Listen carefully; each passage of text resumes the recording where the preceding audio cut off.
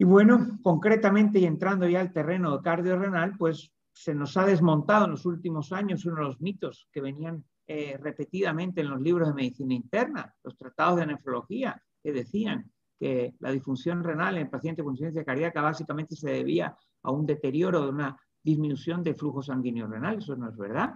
¿Eh? De hipoperfusión renal, hipoperfusión arterial. Eso no es verdad. Afortunadamente, la mayoría de nuestros pacientes, ¿eh? el deterioro del filtrado ¿eh? se debe en gran medida a la congestión. Y eso, así en los últimos años, han aparecido numerosos trabajos que apuntan a la importancia que tiene la identificación de la nefropatía congestiva.